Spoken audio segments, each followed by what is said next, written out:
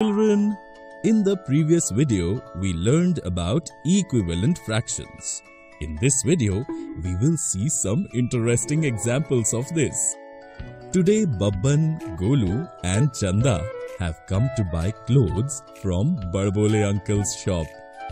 Babban bought an 18 meter cloth of this design.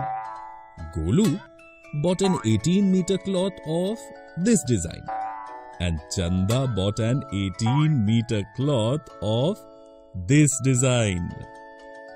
When Babban reached his house, he thought, why not give one third of his cloth to Golu and take a piece of the same length of cloth from him? In this way, they will have two different designs of cloth. Children, can you tell how Babban can make one third of his cloth and how long will it be? If you wish to, you can stop the video and find the answer. Absolutely right. In this way, Babban will cut his cloth into three equal parts and take one part from it. And that would be one third of the cloth. If we divide 18 meters into 3 equal parts, each part will be 6 meters long. If you wish to, you may see. This first part is 6 meters. The second part is also 6 meters. And this third part is also 6 meters. 6 meters plus 6 meters plus 6 meters equal to 18 meters.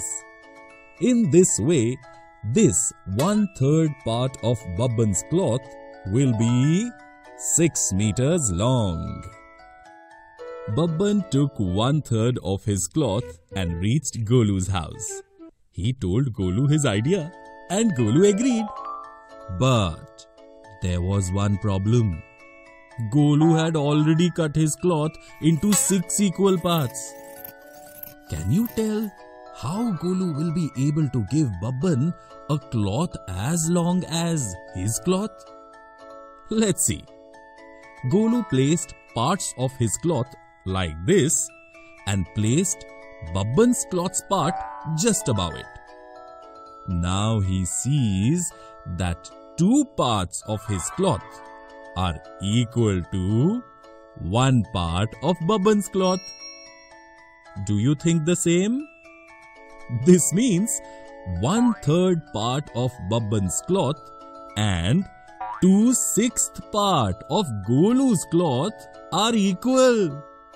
Let's look at it in another way. We saw in the beginning of the video that one third part of Babban's cloth is 6 meters long. The length of Golu's cloth is also 18 meters.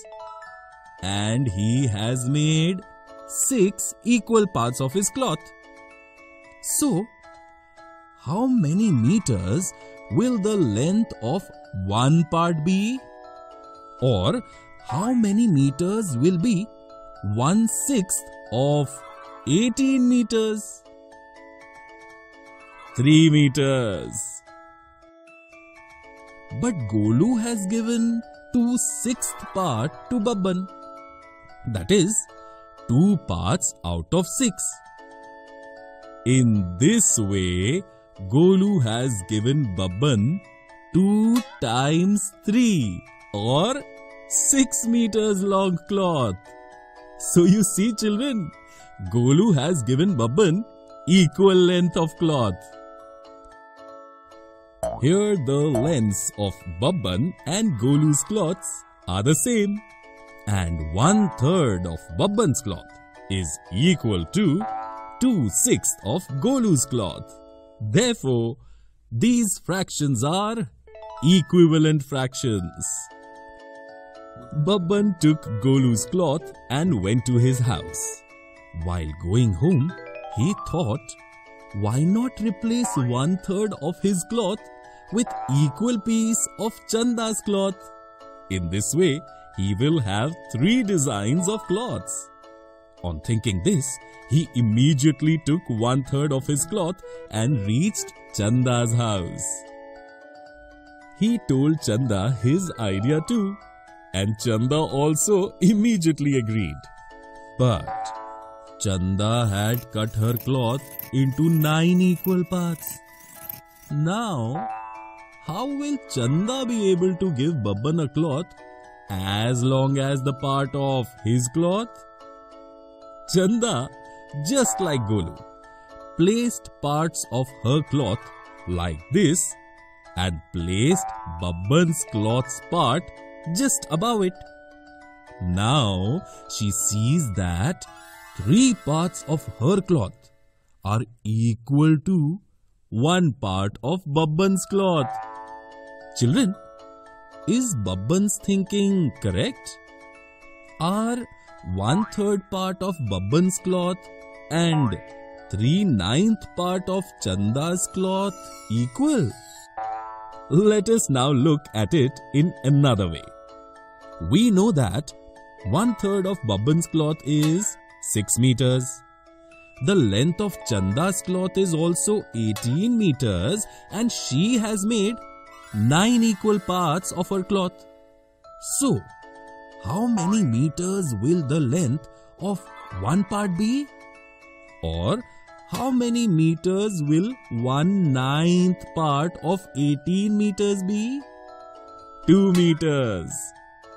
But Chanda has given Babban 3 ninth part or 3 parts out of 9. In this way, Chanda has given Babban 3 times 2 or 6 meters long cloth. Therefore, 3 ninth of Chanda's cloth is equal to one third of Babban's cloth. And these two are also equivalent fractions. In this way, one third is equal to two sixths is equal to three ninth. All these are equivalent fractions. Babban took three ninth part of Chanda's cloth from her and happily returned home.